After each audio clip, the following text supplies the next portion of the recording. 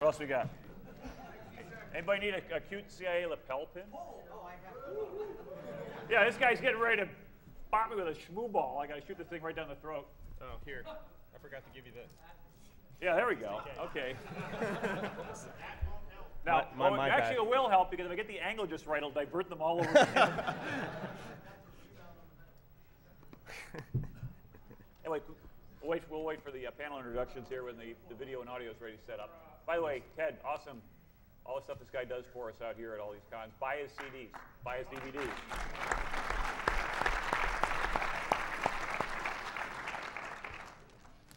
Hey, quick ad. any- Anybody figure out the, uh, uh, the badge puzzle yet? No, nobody? There was a puzzle with the bags? Okay. Oh. Pay attention in this presentation.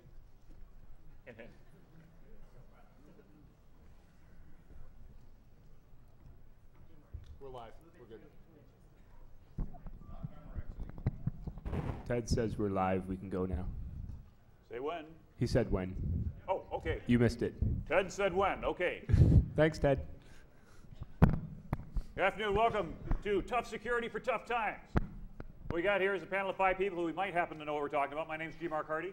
I got over here Bruce Potter, Jack Holleran, Fed extraordinaire. We got Mark McGovern. We got Peter Guerra.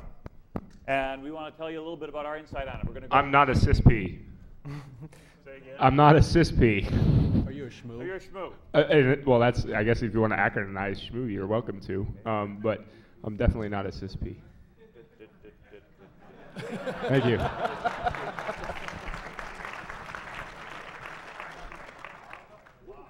Try that with your Keynote software.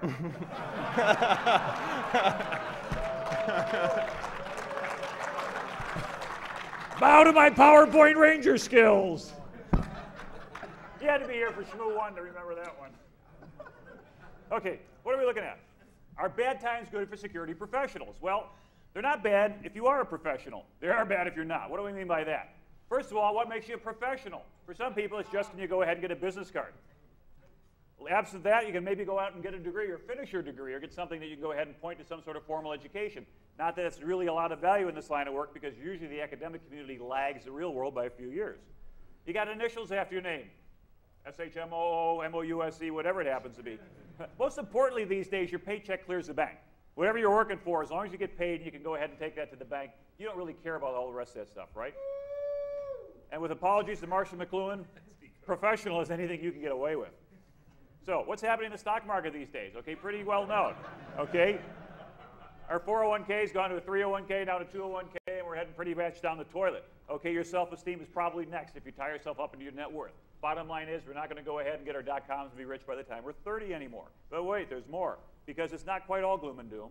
Although we're looking at some of the major systems out there, Microsoft, Cisco, Dell, all heading down. Hey, these are stock trends, and they're starting to come back up in terms of technology. So maybe it isn't as bad as it seems in some certain sectors because a lot of times IT security gets swept underneath the whole IT umbrella and it doesn't get looked at individually. So we might find out we're probably in a little niche that might be able to survive the storm. So security spending can, spending can hold steady for a number of reasons. Compliance is big. If you got to do Sarbanes-Oxley, that's huge. If you run a bank, you want to make sure you didn't get caught with your fingers in the cookie jar, so you order a Sarbanes-Oxley compliance audit. Nothing in 404 that says you need an audit, but yet the big four and a half sell millions and millions of dollars of those things every year. Uh, bad guys need more money too, because in bad times, crime picks up. The problem is you can't really convince management of that because basically they speak a different language than we do in the technology world, but that's an entirely different presentation. But with the new administration here in Washington and all the issues that are going on with regard to all this money that's going to bailout, expect some new regulation. Regulation means compliance. Compliance means work for us. That's a good thing. And there's many existing contracts that are out there. I mean, if you know your stuff, you're okay. Ed Skoudis, where you at? Okay, one of the lessons that Ed learned, okay, make sure you don't end up with a trademark problem with the name of your corporation. Okay, what are you seeing out there in terms of the marketplace? Good, bad, level set? Pretty good. Pretty good, okay, so it's not all that bad. There are people out there that are doing well. There are some options to avoiding reality, though. You can go back to school, work on that professional thing, get that degree. But the problem is you got to get up before noon sometimes to go ahead and make those classes. That brick and mortar tends to be a little bit annoying. Move back in with your parents. Not, right? Some of you haven't moved out from your parents yet. Okay? Start your own consulting firm. That works. Doesn't take a whole lot. A box of business card and a laptop and a little bit of chutzpah, and you're out there and you're giving it a try. And the neat thing is, by the way, if you ever want to start your own business, what better time to do it than if you're between jobs? Because no one's going to hold it against you if you try to pull it off. And if it does work, you're golden. Otherwise, you just hop back and you go work for somebody. Or you can apply for the job of cybersecurity czar. They can't seem to hold on to anybody in this position right here. You know, they got this help wanted sign out here, uh, Homeland Security. No experience required. So you might be able to get a Fed job. But don't lose momentum. We all know Moore's Law, right? Technology doubles 18 months. Well, I got a corollary to that, and it says half of what you know about security is going to be obsolete in 18 months, which is a little bit scary, but you think about it. Okay, who was running Vista 18 months ago? who wants to run it today? But more importantly, how old is it? Your iPhone, how old is the technology? It changes rapidly. The threats change rapidly. You've got to dedicate yourself to lifelong learning, or you're not going to be able to go ahead and master this very competitive environment that we're facing out there today. There's educational opportunities. Scholarship for service is kind of like an ROTC in the computer security world. You go year for year, you go and you go work for a federal agency. Had a chance last month here, gave a keynote talking to about 250 students that are participating in this program. It's pretty neat. If you're working as a Fed, it's not so bad. Your checks clear the bank. You get to play offense legally and things like that. You can also go ahead and get these cool things called security clearances, which everybody tells you inside the beltway is worth at least 20% extra on your next paycheck. A lot of schools out there have an NSA-approved curriculum. Google CyberWatch, I don't want to pitch that. It's a program that I'm on the uh, directors for as well. You start to see I get involved in a lot of nonprofits and things like that, because as you get a little bit more time under your belt, start giving back. Don't just keep stuff for you. So, hints for carbon contact with the Carbon Network, because you're all computer guys, right? First of all, use deodorant if you go out there in a job interview. Um, use some references. References are good. And make sure they're references that they can be checked by an employer. Part of the problem with reference checking is sometimes it becomes sort of a self-referential and you get an, a, a compile error on them. You can read that hopefully quickly enough. And don't expect management to understand your skills. Because what happens is management speak one language, you speak another, and they're not necessarily even the hiring process. But the hard part is, is trying to be able to and communicate the importance of what's going wrong in the security world. Why do we need money for this? Why do we have to go that? If you start talking bits, bytes, firewalls, things like that, you lost them. Total cost of ownership, litigation avoidance, Sarbanes-Oxley compliance. You don't look good in Orange Boss, you know, things like that. Help them understand that there's a different incentive out there. There will always be work. As long as there's stupid people out there, there will always be work. And that's backed by scientific research. You need it as on the outside of most of these Intel boxes. And uh, Einstein says, hey, two things are infinite. Universe, human stupidity, not so sure about the former. So, learn how to use Keynote, or you end up like me, as if just another PowerPoint ranger. But it wasn't all that bad. So anyway, that was kind of a quick five-minute tour through a whole bunch of slides, and a whole bunch of hints, by the way, if you're paying attention. And uh, over the other panel members. Bruce? Um, yeah, so real quick, one, um, G-Mark, we're all asleep because he talks so slow. Um, Too much caffeine, sorry. from upstate New York, right? Yeah, in upstate New York, there's like a, a test they give you when you're three that if you can't talk fast enough, they ship you to Idaho. Um, so, uh, apologies to the Idahoians in the room, um, which I'm sure isn't how you not pronounce that. Um, They got big buffers, though. They're still in slide four, but they're yeah, processing. exactly, processing. Um, so, a uh, quick question: How many people in the room have uh, changed jobs in the last year? Okay, of those people that have raised their hands, was it an easy transition to find a new job in the security space? No. Well, that's shocking for the people that said no. Out of curiosity, how many security professionals that have already had a security job, not those looking to break into the industry, um, are currently unemployed in the room? Couple. Huh. So our unemployment rate's about um, an eighth of a percent. Um, so, out of uh, the curiosity, uh, someone who said no for the transfer of the job, what was the what was the challenge to find a new job? Locale. Locale. Oh, so you didn't want to work in Idaho, uh, New Hampshire. no one works in New Hampshire, sir. Decode. no problem. The uh, six weeks that I was unemployed, uh, while it may seem like a short number, was the first time in my professional career that I've actually had to do two things. One, draw unemployment, and two, Work. actually change, yeah, work. Yeah, I got the honeydew list done.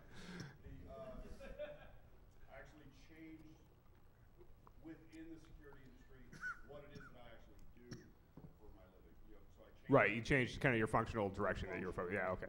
That was actually difficult. So, um, you know, it's, it, it, it strikes me that um, there's still a lot of demand for these jobs. How many people out here are hiring security professionals right now? How many people are having an easy time finding qualified people for your security positions? Right, yeah, there you go. Okay, so um, with the right skill set, people are still highly marketable in the workforce. Um, I, G-Mark, with apologies, um, a lot of that that he showed was kind of a focus on the, um, I guess, supply side of the services, if you will. Um, I think one of the things we want to talk on here too is a little bit some of the product side um, of the space and what's going on there. And uh, you know, this is hopefully an open forum. So as far as ground rules go, um, Ted, do you have a wireless mic? Yeah, I do. It's right here. Sweet. Ted's going to have the wireless mic up. So if you want to engage in the conversation, please feel free to raise your hand, and Ted will run across the room. He's really good at. It. Or someone else if he passes out. Um, but uh, anyway, those are just kind of the basics. Mark, do you have anything to say? Yeah. so um, a lot of what I do on a day-to-day basis is look at products, is look at what the commercial world is trying to do that isn't inside the beltway. Uh, and some of the factors or factors that we're seeing there is, is a strong move to consumer-oriented products, um, which is very unusual in a lot of ways for what goes on, where the enterprise is deemed not spending a lot of money, but if there's any money to be bought or spent these days, it's out of, cons- I, I should say, up until November was out of consumers. Uh, and so what you're seeing is a lot of folks who are trying to invest in those things and try to pump capital into that and staff those out outside of the Beltway. Uh, and they have almost no concept as to the value of security or the need to staff that out until they get large enough. Uh, so the, the security draw there is really interesting because you have a lot of emerging security issues uh, and you have potentially a lot of places where security folks could have a lot of influence. Uh, but you're not seeing that stressed by the people who are putting capital into the market. So um, what, I mean, from a security pr product perspective, you're seeing it though still healthy? I mean, it, it, looking beyond the investment side of things, I mean, do you still see that the industry itself is still for, for big companies, it's still pretty healthy. I mean, we, we do see Cisco, McAfee, Symantec, and others doing, you know, holding their market share, uh, doing, uh, increasing revenue in certain things like uh, DLP, uh, where that's really taking off a lot because of compliance, a lot because the incidents are going up in the people who will spend against that in compliance. So you're still seeing a strong draw on the established products, which is good. Are you seeing? I mean, so so compliance is one side of the equation. Um, I contend that right now we're having a pretty impressive uptick of motivated and skilled um, attack activity that are hitting people as well. Um, are you seeing that bubble up to the level where it's affecting the product space at all, or are people still got their heads down in the compliance issues? So it's a good. Normally, when we look at the security industry, what we see is an engine where uh, really smart security guys start product companies. Uh, the financial world is traditionally the place that picks that up the fastest and runs with it. Uh, and often you'll hear an entrepreneur say, I'm going to target three markets. I'm going to target financial, healthcare, and government. Uh, and we look at them and we say, well, financial will actually spend money, which isn't true today. Uh, healthcare is, is unlikely to spend money, which is still true today. Uh, and government is slow. Mm-hmm. And so if you're looking at the startups, you're looking at a lot of folks who target financials. So the engine of new innovation has got a real hard problem right now because the startups aren't getting a lot of funding when they're focusing exclusively on security and targeting financials. S but that's a relatively recent trend. It is relatively recent since, uh, since mid last year, mid to late last year. Huh. Um, so, from a consumer perspective, that's actually kind of surprising that, I mean, consumers are have been spending on security products on their own? Like this is mom going to Fred Meyer and like buying herself Symantec, or what is that? No, consumers don't pay for security. I think in general is what we think. uh, they uh, they pay for products, and those are the products that are being bought. You know, whether it's uh, whether it's the online uh, services that they can subscribe to, or um, you know, uh, photo management capabilities, things like that social networks they're not quite paying for yet, but those are the things that you're seeing gather some really interesting venture funding. Okay. Um, where there are huge, I mean, you guys know, there are huge security issues looming in sort of how do we deal with privacy, how do we deal with these issues. Uh, but there's money in those spaces right now. Right. And not a lot of security magnets uh, drawing in security talent yet. What about um, from a services perspective for anybody on the panel? I mean, what do we see from, I mean, even the people in the audience, the security services? There's got to be more than a couple of consultants in the room. Um, and I, my, my perception, I recently, um, recently, a year and a half ago, started my own uh, company, and it's just three of us. But um, you know, it's been going well. I mean, people are having problems, and we get phone calls, and we go help them fix their problems, and it seems to be no end of that. Um, and when I was working for big corporations, it seemed like it was the same kind of thing. It just happened with a lot more decimal points. Um, so from my perspective, the services uh, industry with respect to information security is still hot. Um, and I don't know if that's because, again, there's increased activity that people are dealing with, that there's increased focus on compliance, that somehow people have started to get what the return on investment is. Um, but I don't think that's the case. I still don't think you can put a number on how valuable the security service within an organization is. Was that directed at me? Sure, I'm looking. I'm looking through a pair of sunglasses so that everyone gets the brunt of it. It's a Ferris Bueller moment. Anyone? anyone, anyone. Um, so it's interesting because the um, one of the things that uh, I've been studying with my economics professor is the impact of cybercrime, uh, which is you know you would hope to be the driver towards uh, you know people becoming try to become more secure. Um, so my economics professor keeps talking to me about, um, you know, may you living interesting times. And uh, we kind of came to the conclusion that 2009 will uh, definitely be an interesting time for information security professionals specifically. Um, most breaches are economically motivated these days, um, regardless if you're, if you're a government or a, co a commercial organization. Uh, 2004 marked the first time when proceeds from cybercrime uh, outpaced the proceeds from illicit drugs in the United States. Um, Where does that come from? That was from a quote from uh, the Treasury Secretary, Tricia Nivens. Uh, Really? In 2005. So people are making more money by stealing money online than they are by selling coke on the street corner and running it through subs. Supposedly. Supposedly. Supposedly. So obviously, you know. if I'm the director of an agency, can I make wild conjecture like that? Can someone just like appoint me to be a directorship so I can just make up some stats?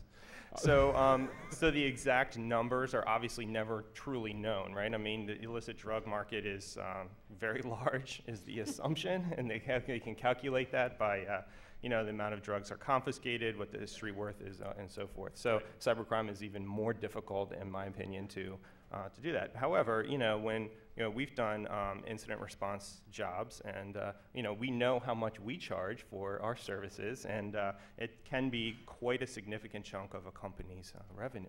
So, so that's not the loss of whatever the hell happened, right? That's not the theft of the information Correct. or the whatever. That's the that's the cost of recovery. Exactly. Okay. Exactly. So I mean, so, so the Kevin Mitnick issue, right, was I stole the source code for Solaris, and that's worth question mark, you know, hundred thousand dollars, twenty-seven gajillion, you know, whatever it was that Sun came up with, you know. Right. Um, what about putting a number on the actual, you know, loss? I mean, there's, so there's loss of the, the, the intellectual property, and then there's loss of the actual capital directly. Well, I'm, I was assuming when she was uh, speaking that that was probably also lumped in. And that's probably part of the reason why it was so much. Because, I mean, you can see in the um, marketplace right now, it's very difficult to say how much your intellectual capital is really worth down to the penny.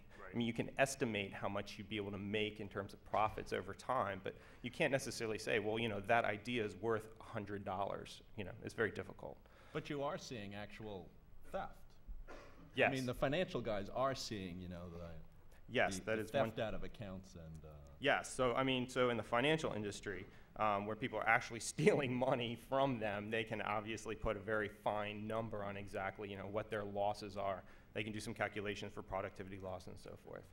So, um, but one of the things that, um, you know, one of the things that we were kind of looking at was, you know, kind of the, there's good news and bad news, right? I mean, with that, the, the good news is, you know, in the press, and partially because we believe of uh, breach notification laws and some other things, you know, there's never been a higher um, interest or knowledge of information security, right? I mean, i i today you, you hear about people wanting to do cybersecurity czar or, you know, that such, and, you know, maybe five, ten years ago you wouldn't have maybe necessarily heard of that um, in as much of a forefront as you see it today.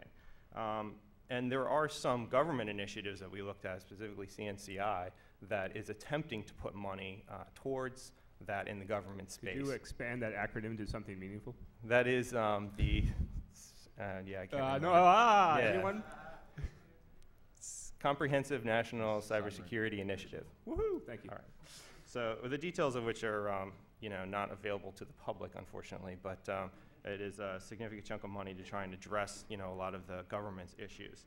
But that doesn't necessarily um, transfer over, obviously, to the commercial space. You know, there's uh, companies who have to operate every day, and uh, the global recession, because we're in a global recession and a global economy, uh, two things um, that are detrimental to commercial corporations right now. They're looking very heavily at what their expenditures are going to be, specifically overhead expenditures, which is typically what information security falls under. So, So we have this interesting trend. Let me just I'll com- complete. Okay. Um, we have this interesting trend that you know awareness of information security issues might be high. Um, there is definitely probably going to be an increase in uh, cybercrime this year, uh, mostly because people who are connected and skilled will be out of a job in current industrialized and uh, emerging markets. And uh, yet, most places will not have the capital needed to actually be able to address those problems. So that, that's kind of where the interesting times uh, we were talking about comes from. Right. So it, it's interesting because I've been spending a lot of my time dealing with organizations um, after they've had some incident and they're trying to, you know, clean up from that. Um, and I, I think it's interesting to look at the value of security when it comes to the overall, um, you know, the overall IT organization, right? IT had for years, um, you know, the CIOs have tried to make this claim that IT is an enabler of an enterprise's uh, mission, right? Like if I do IT better and I'm General Motors, that means I build cars more efficiently and better than Ford, right? And the better my IT systems in, they're so tightly integrated with my day-to-day processes that it, there's a direct return on investment that says, if I do this better, I'm a better company for it. Um, IT security is a stretch, right? If I have better firewalls and smarter security professionals, does that mean I build better cars? Er, no, maybe it means Ford doesn't build the same cars that I'm building uh, they're not able to steal the plans for them. Um, but it, it's, it's really hard to draw a return on investment. When you start to say, well, I think people are breaking into our network and we need to go look for them, question mark, and we're going to hire this really smart guy and buy a bunch of software, and that somehow is going to make an important difference in how we build cars. And we can't really measure the success of how good they do, and we really don't know what they're doing, but we, damn it, it's important that we do this because we're security people and we pound on tables a lot. Um, it's really hard to connect all those dots in a recession and say, yes, absolutely, that is a required spend. Um, in organizations that have obviously hemorrhaged something, you know, it's left the organization, like, whoops, we got compromised. We'll spend money to go back and fix that for about a year. And then we close the door again because we spent that money and we couldn't demonstrate how important it was to have spent that capital. Yeah, so it's even worse now because the, a lot of companies are operating on such razor thin margins that they don't even have that capital, nor can they borrow that capital to actually be able to address when a compromise happens. Yeah, when you look at return on investment, the problem is, is that you go in for your budgetary review and they said, hey, well, last year we gave you $600,000 for security and nothing happened. So why should we give you any money next year? Because uh, nothing happened. But the problem is trying to correlate what a return on investment, which is an actuarial model, which doesn't work for security, is compared to an ROSI, return on security investment, is more along the lines of, you know, why do you have life insurance? I mean, think about it. If you buy life insurance, the agent is betting you're going to live, and you're paying him money to bet he's wrong. Okay, well, it's logic in that, and yet we do it. Why? Because we're thinking of something more permanent than just that financial transaction to provide the security. So part of the challenge you're going to face out there, particularly if you're either trying to justify yourself to get hired into an organization that has few or no security professionals, or if you are the lone security professional they're fighting for your budget, is to be able to translate your arguments into executive language that they understand. Something that lets them see that their competitive advantage, that business processor, for example, of making cars, is a core key element of their competitive nature and their competitive ability to do business. And without that, they're going to lose that. And if it's not core to their process, don't protect it. Don't guard the trash cans. Guard the good stuff. Okay, let me translate that down a little bit to the people down in the trenches. You've got to be able to make a business case. Security is an overhead.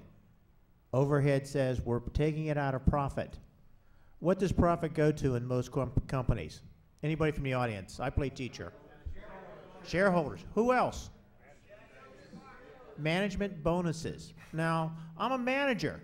Do I want to pay the bonus or do I want to buy security? If I bypass the security cost, the impact's not going to hit me for three to five years. I'm going to be in a new job. It's next person's problem.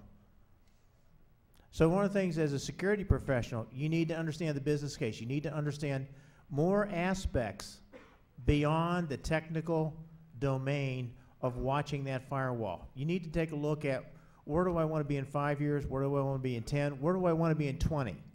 Now I realize that, you know, that's kind of hard. I mean, I worked at a TLA for over 30 years. I went from the uh, basement to the boardroom. TLA Jack for the uninitiated. If they're that dumb, Don't ever insult your audience. Free letter agency.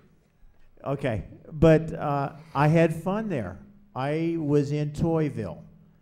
I was directly responsible for a lot of the computer security solutions for 15 years. The first 10 probably because I was the cause of the problem. And then I evolved into going into computer security. I can say that I was one of the first 100 people in the field of computer security. That's not something a lot of people can say.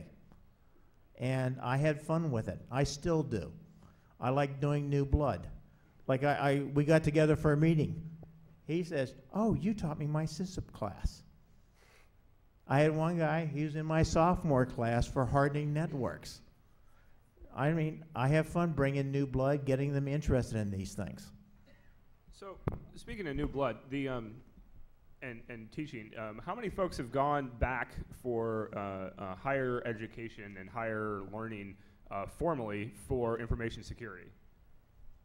How many of you people are outside the DC area that went in for the formal education? Sorry. I- I- we could do that all over again. Hey, you didn't say Simon Says.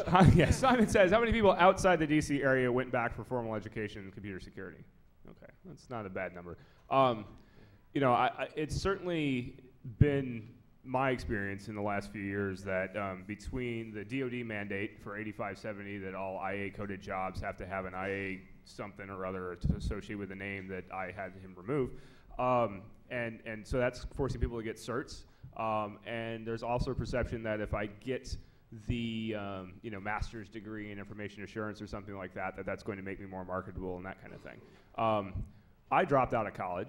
Um, I went to school for a long time, but I eventually dropped out never got my degree. But I still have a lot of faith in the educational system as a whole and the diligence it teaches you as far as what you need to go through. But I'm not still convinced of the value in the marketplace of the kind of continued learning that's going on at some of these institutions and their impact on, um, you know, a the overall security of the enterprise and b someone's marketability. I mean, have people found that their higher education has gotten them more marketable since they got their masters or whatever in information assurance? Branson, this will be a challenge. So, so Yeah, Branson says, If, you, oh, if you're hoarse, don't try to address the whole audience. we'll, we'll repeat it. Branson, Branson had a tragic accident, lost his voice. Um, the uh, uh, his statement was that when it's uh, you're speaking with the government uh, or when you're dealing with the government, that uh, it makes a big difference. Um, and I guess the the corollary to that was maybe outside the government, it doesn't make as big a difference. Got a hand, sir. Most contracts, they actually base your pay on different bands of what education you have and what you paid. So, and that's for most government contracts.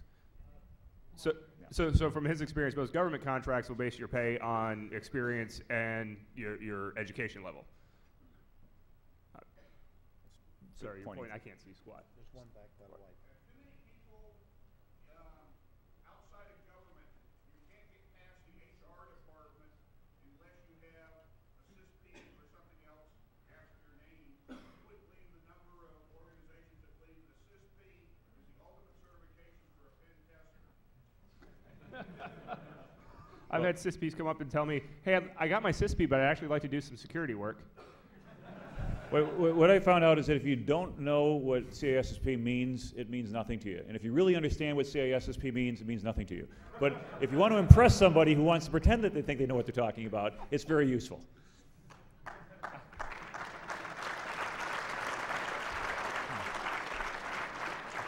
So, you, you know, there's this whole push right now to, to you know, as people are getting laid off and they're and everyone's afraid of their job, even if they're not getting laid off, they're running back to continued education. right? Like Strayer University has more advertising per minute now than I think they've ever had, right? I mean, all these uh, Strayer and Phoenix and all these people are advertising like crazy for everything. It's not security. I mean, they're, they're advertising for nursing and whatever else, and people are trying to go back to school to make themselves more marketable in the, in the, the marketplace. I've kind of had the contention that while it's great for electrical engineering and mechanical engineering because gravity's the same that it's been for a long time, and so is electricity, um, you know, computer security isn't the same. You know, to, to G Mark's point, you know, there, there's a half life to this knowledge, and you know, does that education really matter, or am I looking for, as uh, from a hiring perspective, someone who's actually engaged in the community and actually doing work? Um, sir, hand.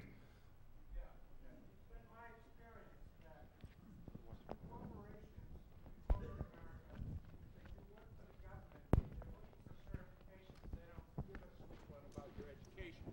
Meaning, okay, thanks. Um, I used to work for a three-letter company, and they, uh, they told me that they wouldn't pay me to uh, get my education. I had to pay for it myself. Um, they paid me, they paid for my tests for my certifications, uh, but that was the extent of it because I already had a, a security job. So they didn't figure they had to enhance that. That's why I don't work there anymore.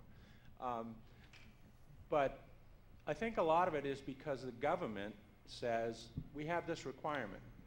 And corporations can charge the government more money if they show a certain number of certs on their payroll. And uh, so it's, I think this whole thing is all government motivated. Are you a conspiracy theorist? Yes. The thing I'd like to reflect on having the uh, credential, okay, if you're fearing being laid off or are laid off, you should be spending time networking. You should be selling yourself. You should be marketing yourself. Not in your company. Join the ISSA. Join InfraGard. Go to ShmooCon. Sit in the corner. Right? ra- raise a flag with a question. You know. But what you need to do is network and find other people that you can discuss things with so that they understand your strengths. You also, as a corollary, know their strengths so that if you're a shortfall, you can pick them up. I have a friend here today. He says he's having trouble. He needs to find 15 people in security with a TSSCI clearance um, this week. Now, now the problem is, there's only a few. You know, when you take a look at the percentages, I can't comment on outside of the D.C. area, but realistically, in the job market in D.C., you need a clearance second. You need networking first. Certifications third. Education fourth. If you have the network, say again. Yeah. No, there's not. Did you say competence or confidence? No, forget the confident. uh, Forget the competence. A lot of places hire people that have a ticket without having competence. I've worked with a lot of them, and I've used social engineering to get Anybody rid of ever them. vote for one? Uh, but realistically, you need to do the networking. You, if you're not doing networking now, when you're in a nice secure job, you're in trouble. Uh, a lot of people are saying they've been out of work for a while. Okay, I think in the last 20 years, even inside my TLA, I have not actively pursued one job. I've never had to submit a resume other than, can you come in and talk to us, and while you're here, bring a resume. I've been in three jobs since I've retired. I've never asked for an opportunity to go get a job. Someone said, I think we can use your skill set. Why don't you come on down and visit us? Of course, each time I went, the salary uh, requirements went up three to five percent. Got a comment over here. I'm, I'm not disagreeing, but I'm talking about Yeah. what happened in the last eight years. It's a new world, and everybody better wake up to the fact that a- as technology improves, security improves, and as businesses downsize on a continuous basis and learn to fight, to, to live, if they're gonna live leaner and meaner, there's gonna be a lot less opportunity than there were just a year ago. But this is why I say you as a security professional must understand the business. I, I'd like to follow up on that actually. So I think on the on the on the outside the beltway, uh, what we see a lot, and when, when we talk to folks, when we're looking at you know small companies, are we looking for talent? What we find is that the security guys almost always, if they've got one, he's described as that smart guy who knows the right things to do for us. And that's a lot. When you watch how they, how, how that dynamic works in a small company or an emerging company, it turns into somebody uh, who knows what they're trying to do as a business. He's very visible. Uh, he makes his value known on some fairly recurring manner. I mean, all the things that you'll find a good consultant will do in a lot of ways. Um, but they're doing it and they are networking not only outside of their organization but inside. Uh, and, and it's really very interesting to look at them where they will often fence off their jobs to be, well, my job is security, but people will go to them for all sorts of interesting questions, like what are the, what are the demographics of our customers? And how do we how often do we do things? And what sort of nature is you know all these business intelligence things that are if there was money on, on wall street in the commercial world would be taking off really.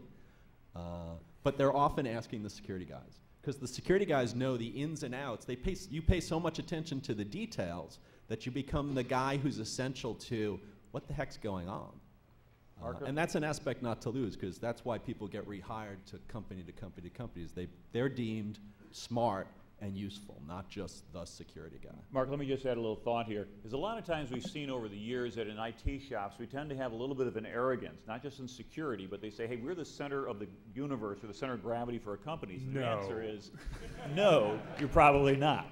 And then, as, he, as Mark was saying, do you understand the business process of the organization for whom you work, or your client if you're a consultant? Because if your whole world ends at the end of the, you know, the Silicon Network, and you can look at the bits and bytes, but you don't know what that translates into in the real world, you're at a severe disadvantage in the workforce because you may have technical skills, but your business awareness skills are lacking, and that could cause your downfall in a marketplace. One of the things that I've seen in uh, just general IT is that a lot of people who are really brilliant in the silicon are really crafty carbon to carbon.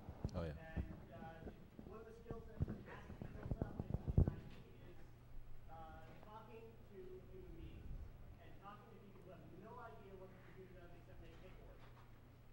So uh, that, that's one of the failings that I've seen in the IT industry. Questions,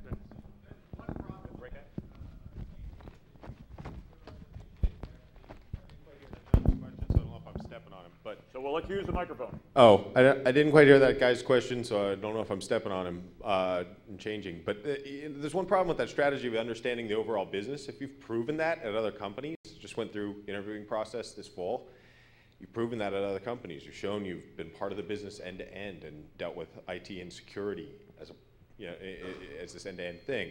Then they turn around and go, hey, uh, where's your CISSP and where's your, uh, oh yeah, here's a bunch of esoteric, you know, technical things about our environment that you could look up in like 30 seconds on a man page or something. But you're, you're, you're, you're dealing on a level that can actually be threatening and get you out of the job. Um, that's just, uh, just an aside, like how do we change some of these deeper ideological problems in the way people go about hiring smart people or creative people? This is where you have to educate management. This is number two on the list. No, this is, yeah, well, yes, even in the interview, you need to educate management as to why certain things are important. I'm trying to think, uh, Sandy I- gave a talk yesterday in one of the, uh, education, uh, forums, and she was basically saying, let's communicate, let's do certain things. If you're not communicating, if you're not tasking management to give you the resources to do your job, then you're setting yourself up. Uh, like I teach a class, I tell people, you know, turn off your cell phones. If you're that important that you have to interrupt what you're doing to answer phones and answer problems, you're not promotable. For the simple reason, why would I promote you out of the position where I depend on you? So, um, as far as educating management, um, I've seen that there's a phenomenal difference in the level of sophistication and the understanding of uh, security and the impact on the organization throughout management in different places. There are some places that are going to check every regulatory box, and that's all they really care about. There's places where the IT leadership is really clued in and they care about security as an integral part, and they're going to pay a lot of attention to it.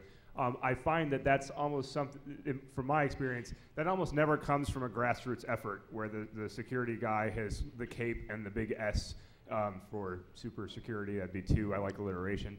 Um, and you know, it, it comes from the fact that someone got owned, or something really bad happened once, or I worked at a bank and I was a manager there, and we had huge fraud problems, and now I'm at wherever, and I'm going to make sure that doesn't happen here. You know, the executives that are clued into security um, oftentimes learn it by trial by fire um, from the adversary, and then they put that into their management process.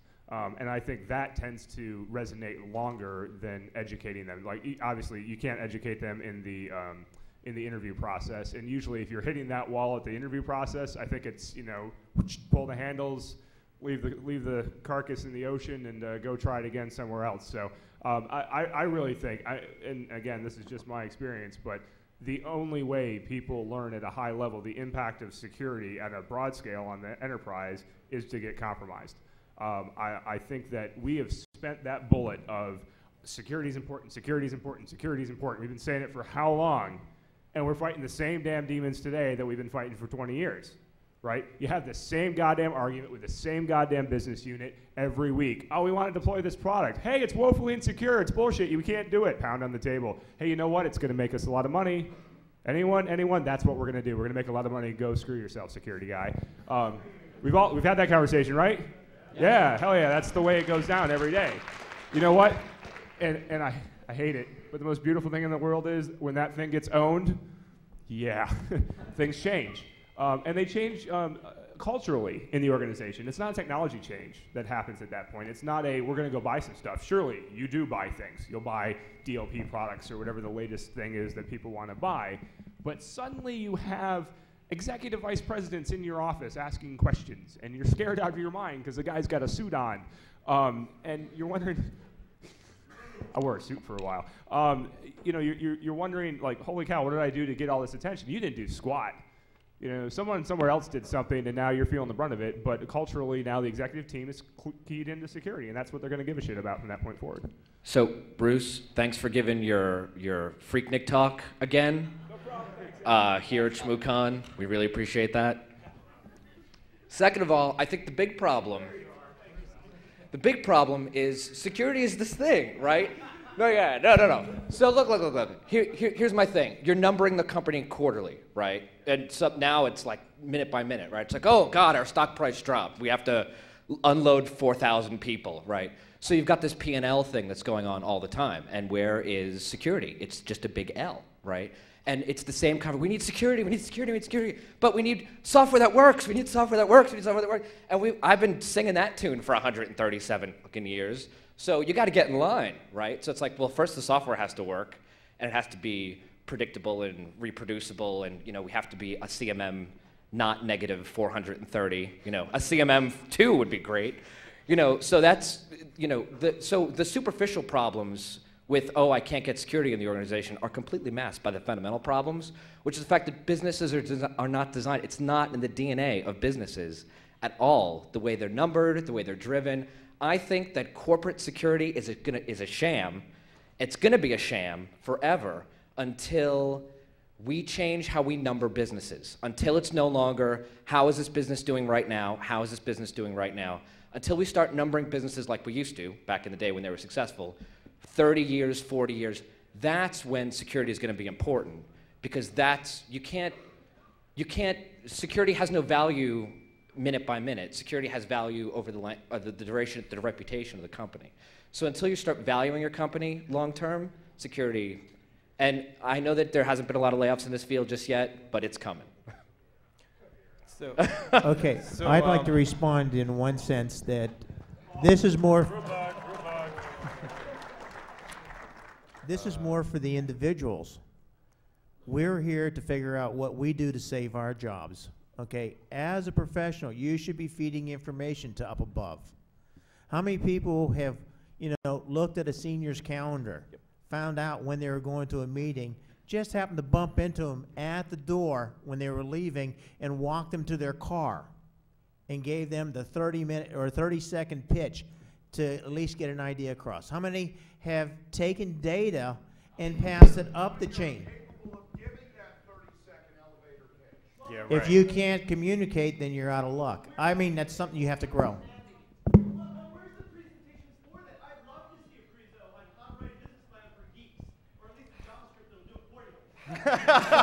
oh, okay. Here, I'm going to make a suggestion. We will task Mr. Shmoo to have a session next year to talk about how to grow the person. Anyone else like to see it? Like, All right, we got a winner there. Hey, we got about five minutes left in the window that we've got for this before we set up for the final session. So I'm going to let's sweep around the panel. Then we got a minute or two left. We'll go back to questions. We're also going to hang around and answer questions offline. So let me go down here and uh, Peter, what are your thoughts? Um, so this has been a really fascinating conversation. Um, I'm in an MBA program, so I tend to look at things. I think, uh, and uh, but I'm also an information security professional, so I kind of been looking at things on both sides. And um, you know, to Al's point uh, about uh, companies, you know, it's always in a free market system. It's always going to be about your profits for your shareholders. I mean, there's no getting around that. I think what we're really going to see though with this recession is that most companies now are not going to be able to bear the brunt of a compromise. They're not going to be able to pay for any remediation type of things they're going to have to do. Most likely, they're going to try and sweep it under the carpet or try to, um, you know, somehow work around those types of issues. So, you know, we're always going to have a, a situation, I think, where um, you know, kind of the, the information security professionals, the geeks or so forth, are saying, you know, we need these technical controls, and you have the you know, business that has another idea of exactly exactly what they want to spend on. So, but I think it's um, I think it's been a really great conversation so far. Mark. So, um, to follow on to that, I have uh, a great belief that there's a obvious demand for security talent, uh, security talent that can relate to the business, and part of that is being driven by the fact that the opponents are becoming smarter to what motivates the businesses to take action Mhm. and are now actively remaining under the radar, uh, nickel and diming out millions of dollars, uh, doing things low and slow, being evasive, uh, and using resources that there's no single obvious way that an, even an enterprise or a financial institution or even the government can put in place something that stops it or protects those resources that they're leveraging. Those dynamics cover, coupled with the implosion we've had on the economy, I'm sorry, where the, uh, where the normal funding of innovation would come out of the financial world and Wall, St- Wall Street, really, uh, is a real issue. So there's a huge demanding need. People see it. The financial community sees it. Uh, I, I meet with them regularly, right? And they say, I've got this problem. If I had a solution to this, I'd pay for it today, whether I was forced to via compliance or not. Because if you read the Wall Street um, uh, public uh, reporting these days, and you read it real close, you'll find they're reporting a lot of losses to cyber loss. So it's there, they see it, they can't figure out how to stop it. Uh, and the question is, what becomes of it for us as an industry? Where do we, as carbon-based beings, uh, fix this? I think you've got a network. You may disagree with some of the things I've said. I was in a session yesterday, one person wanted to listen to Dave Aitel. Dave Aitel had some, you know, points that I thought needed corrected, but, you know, you need to hear why people disagree. Networking will help you. Have the dialogue. Get the learning. Get the tickets in an area. Find out what the company is. Do social engineering. You know, you want to go work for that bank. Go do some uh, Google searching on what does that bank do? What can they do? Where is that person involved in? You know, once again, that 30 second walk. Maybe you'll catch that manager coming out of uh, a dinner for the local Department of Commerce or whatever, and you can give him a pitch then. That way you have an introduction to the company when you go into interview. Network with us when we're done today. Get ideas. Um, so, yeah, first of all, I, I agree with the networking point. You, you gotta, although we may be speaking to the choir a little bit today because it's Sunday, and again, I contend that you, you define geekdom when you're at a hacker conference on a Sunday in DC. Um, but to Mark's point, I, I wholeheartedly agree that in the near term, there is no stopping people that are motivated to break into any given enterprise. None. Nothing that you can buy today off the shelf and realistically deploy without trying to gouge out your eyeballs is, there's no way to stop them, right?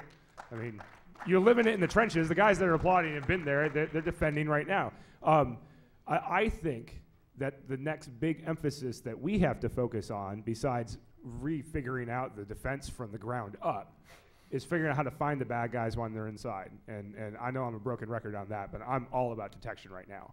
Early detection. If we can't stop them, find them as soon as they hit the ground and get them the hell out so that they don't own all 10,000 systems inside your enterprise. They only own one, right? The challenge is from a product perspective and from a services perspective, it's incredibly hard to put a value on that activity.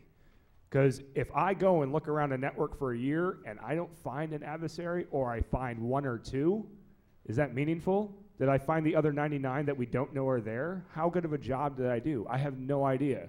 So we're at this weird crossroads where there's less money in the system to spend on it, but from a technology and the real world perspective, we're more dire than ever. So I think there's a huge opportunity for everybody in the audience and for a lot of the product companies, but it's not going to be doing the same shit we've been doing for the last 20 years. That's yeah. a good thought. And think again also, why are you doing information security? Is it because some high school career counselor sat you down and said, hmm, you're basically uncoordinated and you have no social skills. I think you ought to go into information security. no, we picked this. Okay, yeah, all right.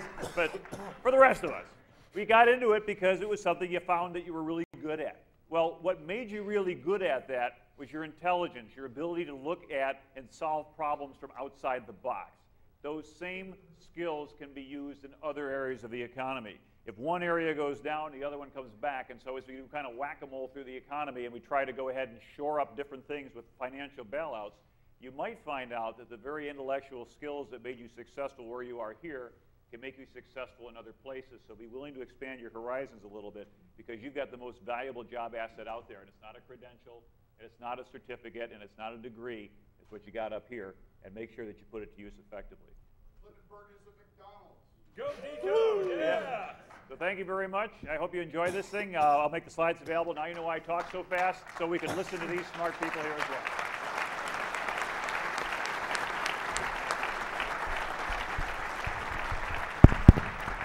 All right, we're gonna we're gonna we're we're, we're gonna uh, we're gonna take a five minute breather and retool. Um, real quick, I actually want to mention something about these closing talks. The last couple years, we've taken random people and glued them together and tried to do a panel that sometimes is successful and sometimes is not. Uh, I think this year was, was, successful, and I'm happy for it. If you all have suggestions on things that you'd like to get five random folks on stage and have discussed for next year, feel free to send them in. Um, I lost and found.